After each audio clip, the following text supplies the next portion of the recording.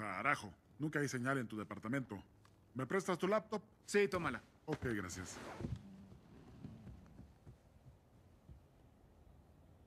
¡Su puta madre! ¡Puta madre! ¿Qué ocurre? ¿Qué te pasa?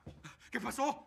¡Es un chingo de porno! ¿Y qué haces viendo mis cosas privadas? ¿Cómo que cosas privadas, Johnny? Todo estaba abierto. Literalmente tienes miles de archivos. Sí, pues se me olvidó borrar algunos. Por Jesucristo, mira tu organización. Beso negro al derecho, también beso negro al revés. Sí, porque a veces me gusta ver la lengua girar al otro lado. Estás enfermo. Mira esto. Viejas con pito. No puede ser, no es cierto. Tengo una enfermedad, necesito ayuda. No existen las viejas con pito, solo los güeyes con tetas. No sabes qué alivio, Ted. Me da gusto que me descubrieras. Quería que me descubrieras. Johnny, escúchame. Es una llamada de atención, ¿sí? Tienes que empezar a salir y conocer viejas, porque con esto te vas a volver puto. Está bien, está bien, bien, pero ya deja de ver eso, por favor. Johnny, en serio. La próxima chica que conozcas la vas a invitar a salir. Bien, ya está, hecho. Muy bien.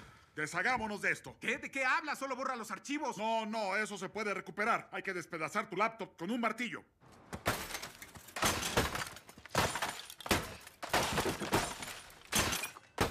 ¿Qué? ¿Ya estás feliz? No, los circuitos se pueden reconstruir con un poco de trabajo. A sepultarla en la bahía.